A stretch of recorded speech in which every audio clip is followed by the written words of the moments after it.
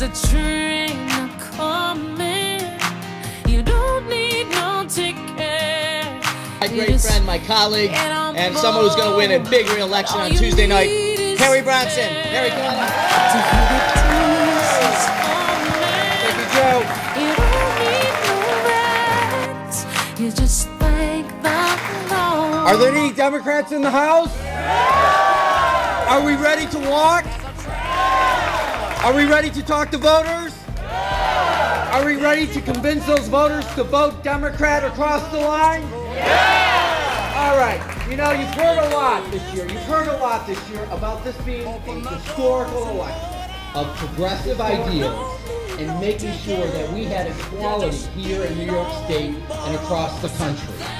We have that fight before us right now at the federal level and at the state level, and that's why we've got to get Louise Slaughter back to the House of Representatives.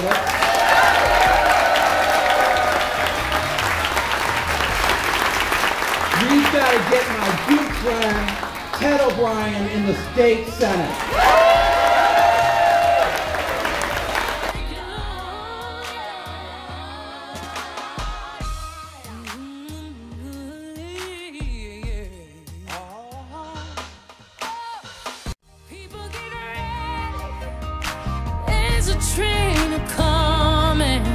And you don't need a ticket. You can just get on board, but you gotta have